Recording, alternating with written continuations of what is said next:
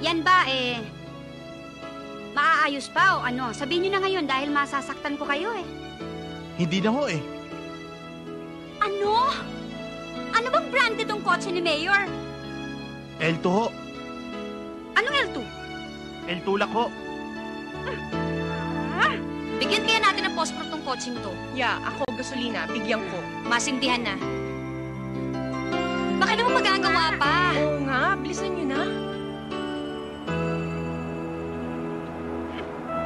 Eugene, nakita mo nakikita ko? Kung di ko nakita, hindi nabanggaan tayo.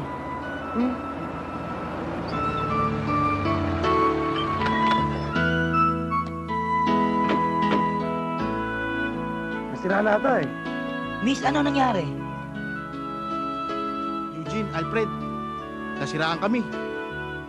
Ito yung mga social worker na pinadala ni Mayor para doon sa barangay nyo. Pwede bang isabay nyo na sila? Oo ba? Walang problema. Saan kami sasakay? Yun dun, sa jeep namin. Sa Eugene's Fruits Vegetable Livestock Merchandise. Do not delay. Sigurado hindi kayo madidelay. Hindi kaya tayo magmukhang. Halika na, halika na. Wala naman tayong choice.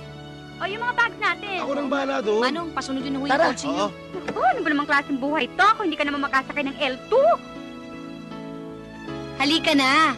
Huwag ka na magreklamo dyan. Oo na. Ito na nga eh, do not delay. Ako. Dito tayo. Dito.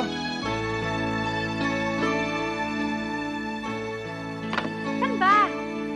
Dito. Dito na kayo sumakay. Alfred, doon ka na sa bubong. Sa bubong ka. Lahat kami?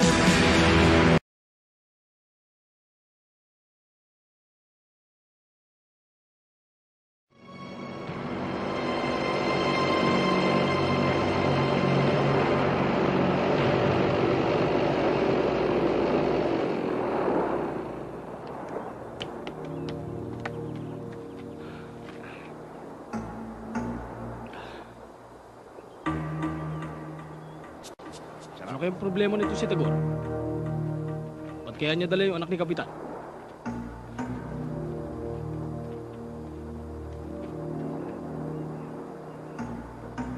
Diyan muna kayo. Sige. po. Chairman! Di ba may kasunduan tayo? Na mahigpit kong ipinagbabawal na kahit sino sa inyo ay bawal tumapak sa kinasasakupan naming lupa! Tumapa ka ba? Oo. Bakit? Eh, paano naman yung body-body nito? Intusan ako na yun daw, yun daw tape na Burlesque Queen. Pinakukuha. Bakit inahat mo yun? Eh, hindi ko pa napapanood yun. Eh, kung, kung gusto raw eh. Sutla, meron ka. Hindi pa pwedeng i-out. Scorpionite, 102. sino ba yung sa to? Sino sa to? Joyce Jimenez. Oh. Aray ko? Inunan pa ako? Okay. Oh.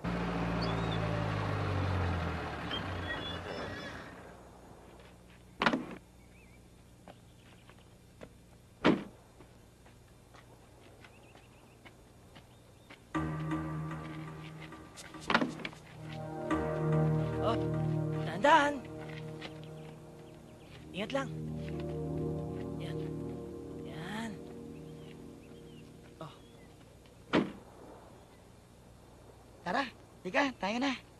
Tara, tara.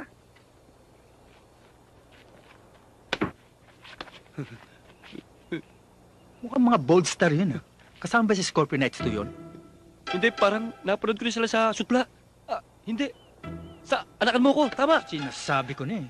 Kayong dalawa talaga ni Serex. Pag manonood kayo, sasama niyo ako ulit ha? Oo, ayos. Sexy pa naman isa. oh. Serex, darating si Supremo Lazaro. Talaga? Para ipaliwanag sa atin kung ano mangyayari sa darating na milenyo. Milenyo? Bakit? Ano ba mangyayari sa darating na milenyo? Tungkol dun sa mga kasamahan nating namatay noong 1800, na 1800? mabubuhay muli. Oo. Mabubuhay? Abay, ano na itsura ng mga yun? Di ang tatandaan na nila kagaya ng ibang mga kasama natin dito. Baliw! Hindi tumatanda yung mga yun. Mga immortal yun. Pag nabuhay, kung anong edad nila nung namatay, siya rin edad nila pag nabuhay. Ah, ganun? Aba, teka. Maganda yan. Makikita ko ang lola't lolo ko. Pati ang lola't lolo mo, makikita mo. Oo nga, no? Eh, tanong mo na lang kay Supremo yan. Ang importante, sabihin mo sa mga kasamahan natin na darating si Supremo Lazaro. Magkaka-reunion kami ng lola't lolo ko. Pati ang lola't lolo mo. Oo nga, no? Ayos na ayos to. At dito rin sa lugar na ito, marami naglilitamo maligno at mga espiritu nagpaparamdam.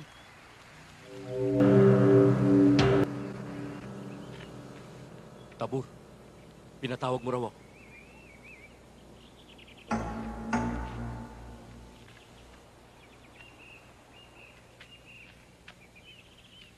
Rex, may kasalanan ka sa akin. Nanood kayo ng burlesque, hindi mo ko sinama. Bitin. Na-censored. Paano mo sisensor yun? Kaya mga kabatid, tayo'y mapapalad dahil tayo mangmang sa katotohanan ng kabiasnan na idinudulot ng mga tao at nagwawasak sa mundo. Tagor! Tagor! Bakit, bakit? Pinasok yung sagradong lugar natin sa Kabiasnan. Yung magagandang chicks na nakita natin sa barangay hall, yung bisita ni chairman, kasama ni Eugene at ni Alfred, Ano ginagawa? wala. Wala. Mhm. Eh, ba't sinabi pa sa akin wala palang ginagawa? Five years old. Pang ilang anak niyo na siya? Pare, tignan mo. oh. Ang gaganda pare. Mga kampiyon. Oo nga eh. Lalo na si Jenny. Pang derby. Kumbaga sa Texas, yan ang white leghorn. Yung Justin pare, pang sultada. Si Roda, Ah, wala pare, pantupada lang yun. ano ba itong pinag-usapan natin? Mga manok? eh, hindi naman mga manok yan eh. Dapat talaga magtayo na Dami. tayo ng daycare dito. Ang Sa dami. dami ng mga bata Dami. at sobrang hirap ng buhay nila dito. Maraming salamat sa tulong nyo.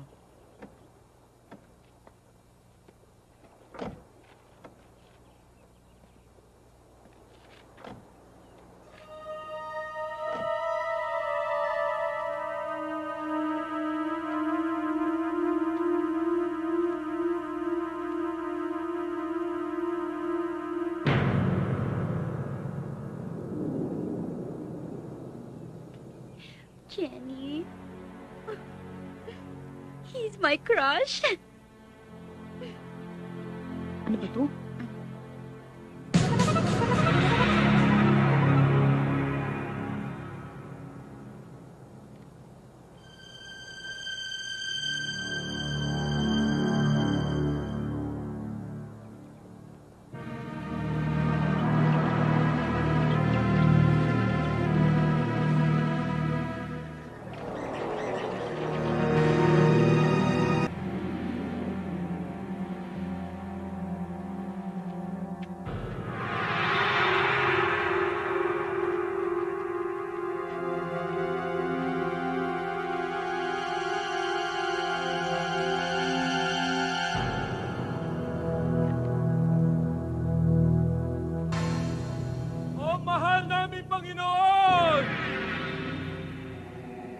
Ng aming lahi.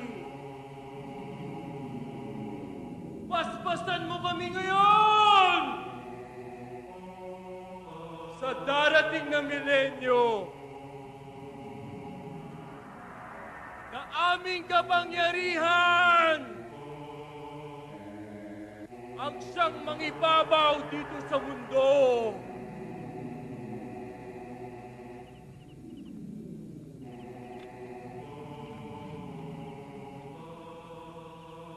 Sa aking mga kalahi.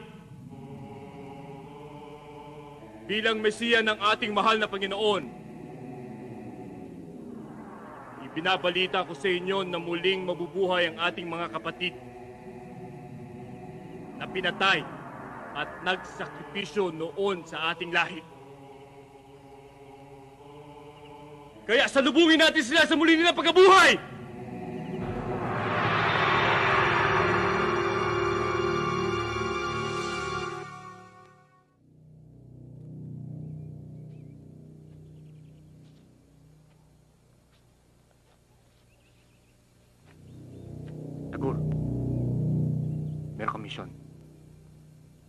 Ko iharap mo ang babae mapapangasawa ko habang buhay.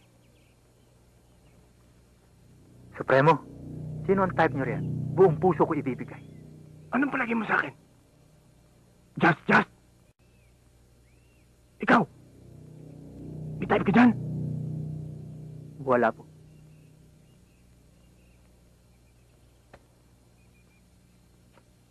Tagur, gusto ko isa sa mga bisita ni Chairman. Yung maliit? Ayoko yun. Ayoko. Yung isang matangkad. Yung maputi. Yung mahabang buhok. Tad ko rin yun eh. Akin yun. Akin yun, ha? Akin, akin, akin!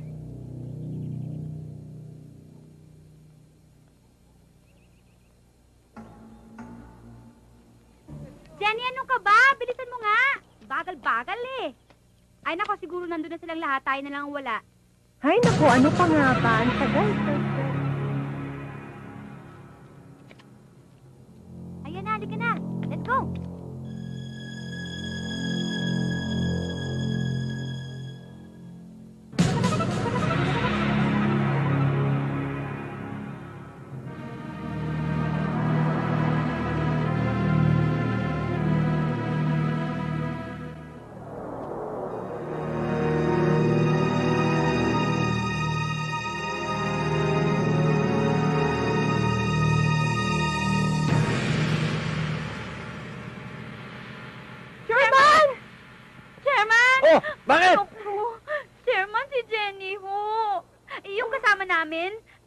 Kinidnap po ng pulto. Yung mga lalaking nakasuot pang mongha. Parang pare, g- ganito, ganyan, Yan. ganyan, ganyan, ganyan. Si Tagur yun! Chairman, Tagur? kailangan report nato kay Mayor at saka kay Chief. Kailangan gumawa silang paraan. Hindi po pwede. Eh, nakita mong minus 5 na lamang eh, para alas 12. Kinakailangang masindihan yung fireworks. Pagkatapos magsasayawan. Pagpabukus na lang natin yan. Chairman, kung ayaw niyo ipaalam, ako gagawa ng paraan. Tabi lang. Eugene, sama ako! Ako rin! Handa ba kayong mamatay? Patayan ba yan? Paglalaba pa Tara, ako. tara. Tara, tara, tara, tara, dito. Tayo na. Happy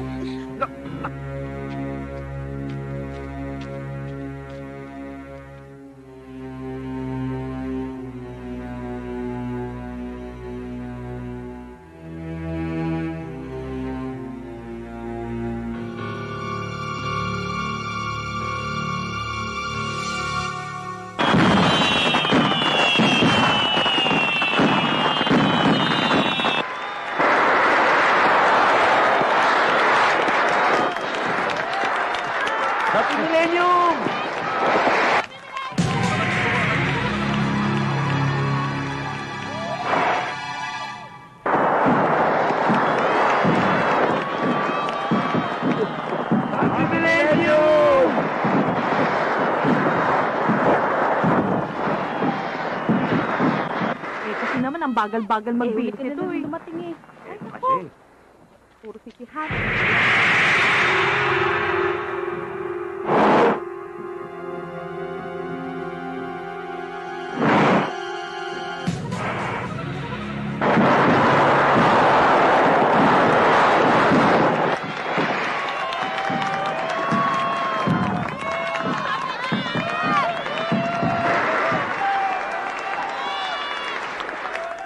Happy Millennium, love. Mm. Happy Millennium, Iha. Happy Millennium tayo. Tay. Happy Millennium.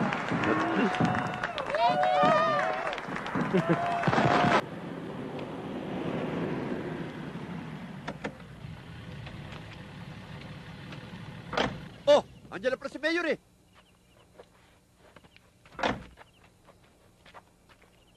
Chairman, Mayor. meron daw nangyari kaguluhan sa barangay mo. Oo nga, Mayor eh. Dahil isa sa kasamahan ng social worker eh, kinidnap ni Tagur. Mayor, kailangan ho gumawa na kayo ng paraan. Baka kung ano ang gawin nila kay Jenny. Eh, buti sana kung ako yung kinuha nila. Okay lang. Ano ka ba naman, Roda? Eh, kasi baka nandun yung crush ko eh. Ha? Akala ko ba kung gusto mo? Ano? Wala, wala, wala. Major Cruz, pumunta ka sa isla ni Tagor para hanapin mo sila. Eh kung manlaban sila, Tagor. Major naman. Naman naman. Hindi ko manlaban. Sa bunutan mo. Kung hindi mo makusa sa bunot, edi bunutin mo yung bigote. Kung ayaw mong barilin. Hmm. Mga kapatid sa pananampalataya, magsiluhod kayo.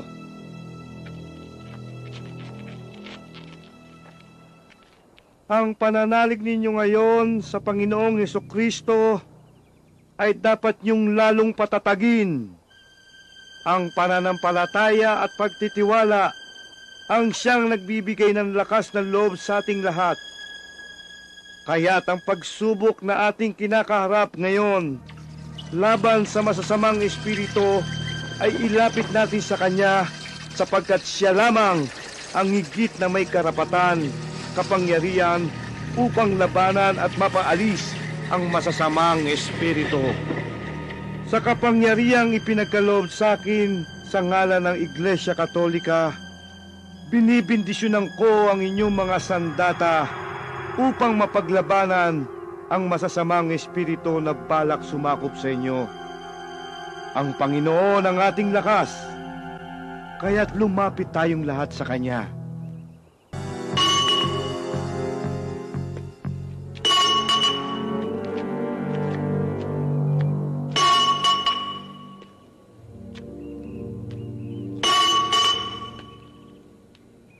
Magandang hapon ho, Mang Pandoy.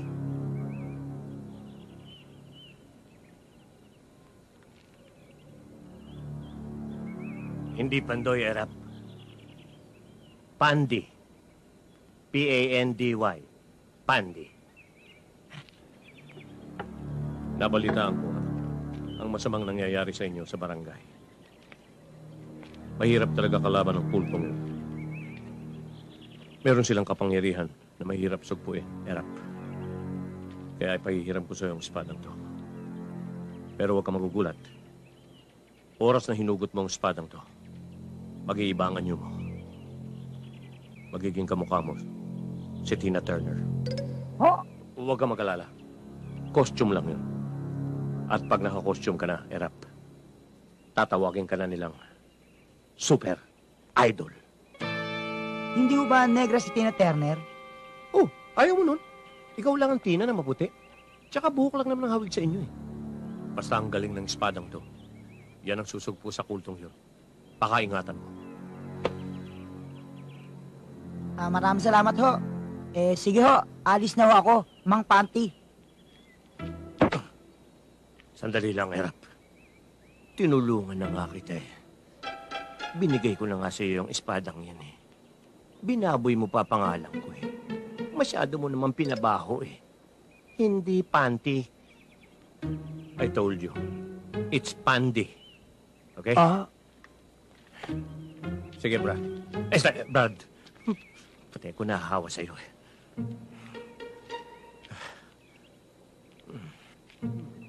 Ano kaya? May galing pa kaya yung espadang yun? Matagal na retire yun ah. Hindi kaya mautas agad tumbidan to?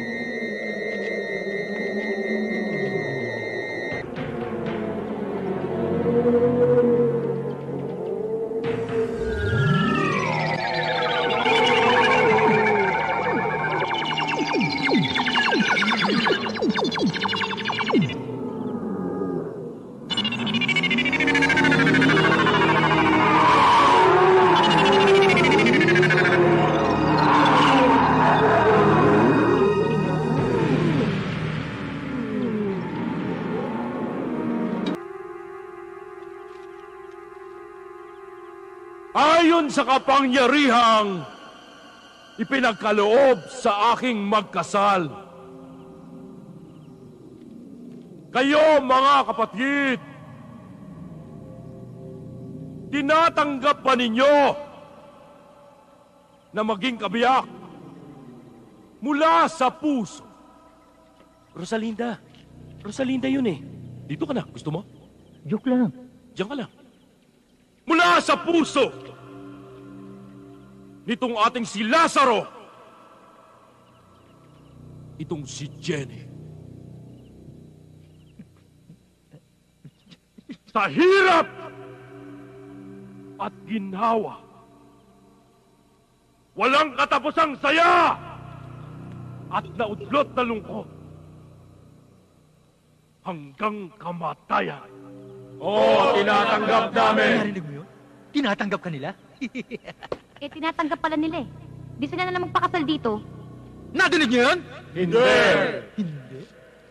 Sayang. Boss! Boss! Pinasok tayo ni Jeno. Sinong Jeno? Si Eugene. Biglang nagbagong kanya anyo.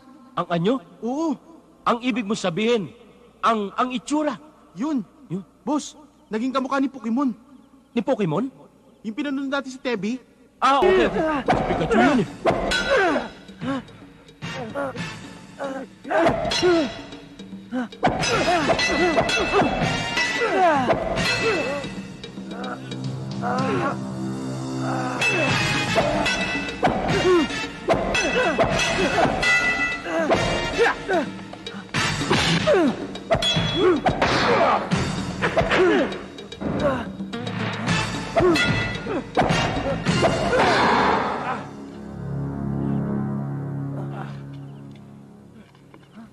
Dagul, ako nang bahala.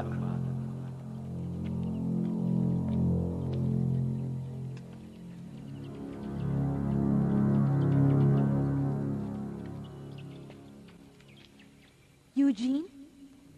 Ikaw ba yan? Ako nga.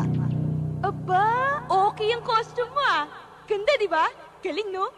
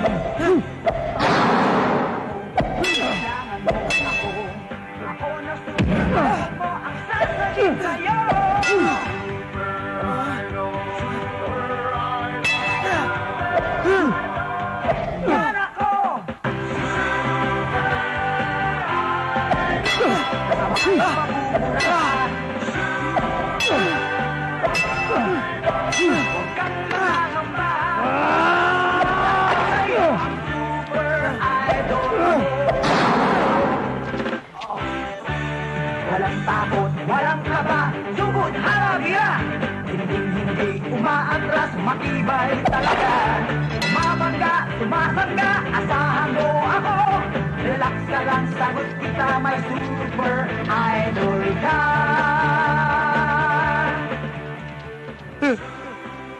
Alfred, dali mo na ako sa ospital. Wala na yata akong dugo.